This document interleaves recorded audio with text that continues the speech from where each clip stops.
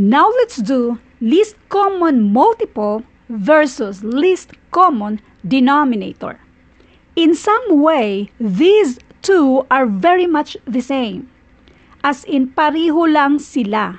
But, don't confuse yourself between a whole number and a fraction.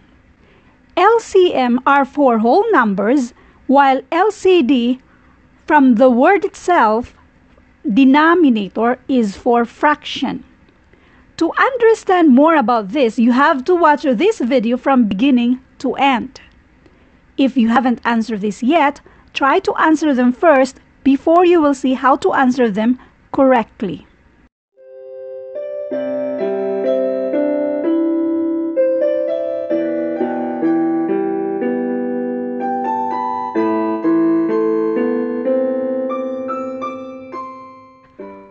Uulitin ko, kung paano hahanapin si LCM, ganun din si least common denominator.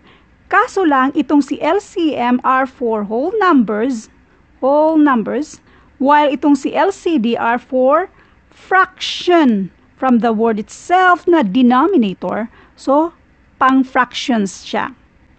Now, let's solve number 1 or let's find the least common multiple ni number 1.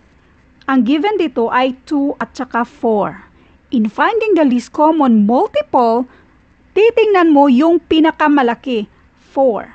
Ang 4, of course, ma-divide sa 4. Ang 4, ma-divide ba sa 2? Yes. So, ang answer dito ay 4. Next, number 2. Ang given dito, 3, 12, 6. In finding the least common multiple, hahanapin mo yung may pinakamalaking number sa given. Ang pinakamalaki dito ay 12. Next, tanungin mo sarili mo. Ang 12, ma-divide ba sa 12? Of course. Ang 12, ma-divide ba sa 3? Yes. Ang 12, ma-divide ba sa 6? Yes. Kung yes ang sagot mo dyan, ang sagot dito ay 12. Number 3. Least common multiple ulit doon ka titingin sa may pinakamalaki sa given. 5 to 10. Ang 10 ang pinakamalaki. So, ang 10, ma-divide of course sa sarili niyang number, 10. Tapos, ang 10 ma-divide ba sa 5? Yes. Ang 10 ma-divide ba sa 2? Yes. So, ang least common multiple dito ay 10. Number 4. Least common multiple ulit. Titingnan natin yung pinakamalaki. 15 ang pinakamalaki mas malaki siya sa 6 at saka sa 5. Ngayon, ang tanong, ang 15 of course ma-divide by itself. Ang 15 ma-divide ba sa 6? No. Ang 15 ma-divide ba sa 5? Yes. Pero mayroon man tayong no dyan. So, doon tayo sa multiple of 15. Next sa multiple of 15 ay 30. Ang 30 ma-divide ba sa 6? Yes. Ang 30 ma-divide ba sa 5?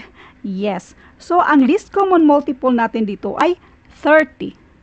Now let's find the least common denominator.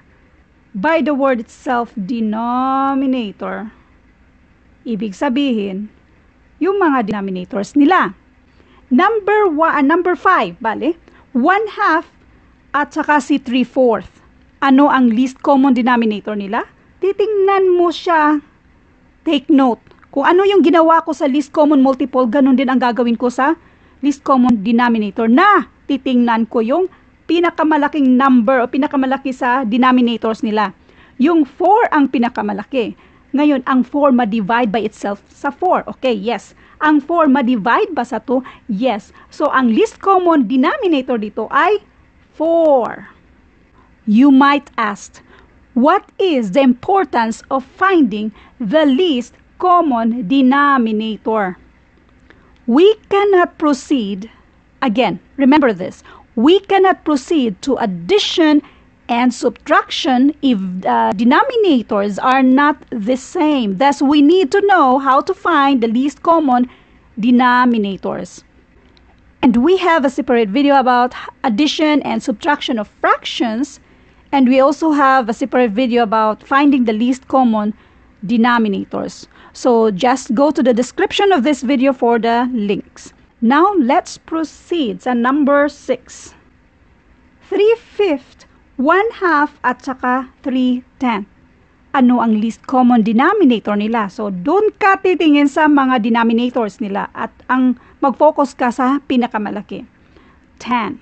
Ang 10 ma-divide by itself, yes. Ang 10 ma-divide ba sa 2? Yes. Ang 10 ma-divide ba dito sa 5? Yes. Kung yes lahat ang sagot mo, so ang least common denominator dito ay 10. Ngayon dito tayo sa number 7. Over 8 3-4 at saka 5-6. Ang mga denominators nila ay 8, 4, 6. Isulat ulit natin, 8, 4, 6. Yan yung mga denominators nila. Ngayon, dun ka titingin sa pinakamalaki. 8, ma-divide by 8, of course. 8, maka-divide ba, ng, ma-divide ba siya ng 4? Yes. Ang 8, ma-divide ba siya ng 6? Hindi. So, dun ka sa multiple of 8. Ang next dyan ay 16. Ang 16, of course, ma-divide siya sa 8 kasi yan, multiple nga siya ng 8 eh. Si 16, ma-divide ba ng 4? Yes. Si 16, ma-divide ba ng 6? Hindi. So next, sa 16 ay 24. Ngayon, ang 24, ma-divide ba sa 4? Yes. Ang 24, ma-divide ba sa 6? Yes. So, so kung ang 24 ay yes na siya sa lahat, so ang least common denominator dito ay 24. Again, mayroon tayong separate video on how to find the least common denominator. So another way of solving or finding the least common denominator, 8, 4, 6. Ganyan. Hanapin natin yung mga prime factors nila. Ang common nila ay 2. So 8 divided by 2 equals 4, 4 divided by 2 equals 2, 6 divided by 2 equals 3. Meron pang dalawa na pwede nating i, this is 2. So meron pang dalawa ma-divide natin ng 2. 4 divided by 2 equals 2. 2 divided by 2 equals 1. Then, kopyahin lang si 3. I-multiply mo siya lahat. 2 times 2 times 2 times 3 and that is 24. So, yan yung least common denominator. Now, let's do number 8. Erase muna natin ito. Erase, erase, erase. For number 8, 9, and 10. If your answer is not 1, then let me ask you, what is denominator? So, syempre, ako lang din ang sasagot pala. Denominator is the number in a fraction that is below the line and that divides the number above the line. A over B. Ito si denominator. Denominator. Tapos, ito si numerator. Ito yon below. Yan si denominator.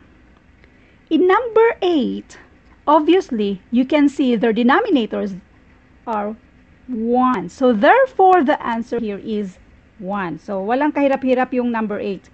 Kasi obvious naman na 1 yung mga denominators nakasulat kasi. What about number 9? What is the difference between number 8 and number 9? Pareho lang naman sila. 3, 5, 15. Ang 3, 1, that is equivalent to 3. Ang 5 over 1, that is equivalent to 5. Ang 15 over 1, that is also equivalent to 15.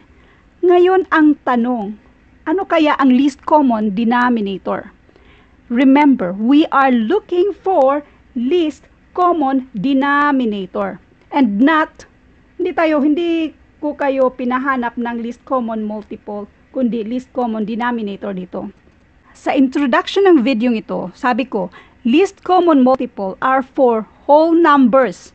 But I'm asking you the least common denominator of these whole numbers. Number 9.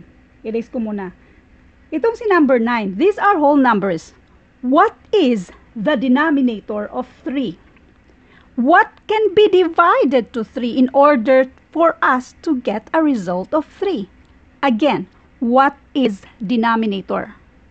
So, anong denominator sa 3 na pwedeng pang divide niya? Kasi nga, di ba, ang sabi ko, denominator is the number in a fraction that is below the line and that divides the number above the line.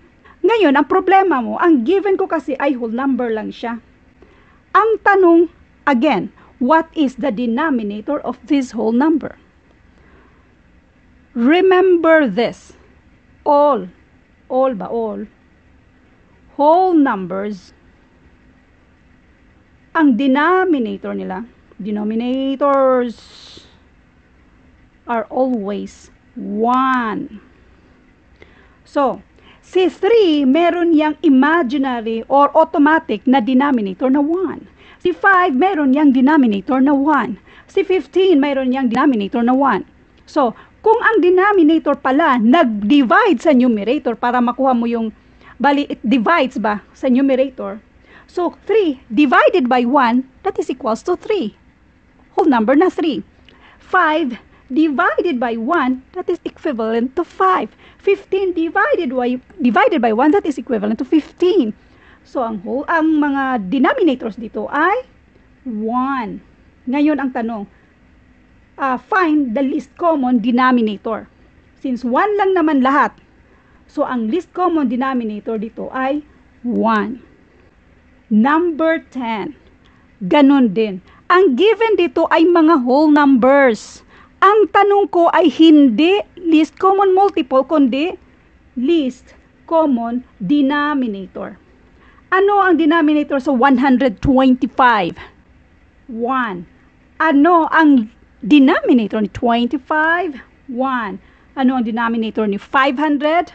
1. So, ang least common denominator dito ay 1.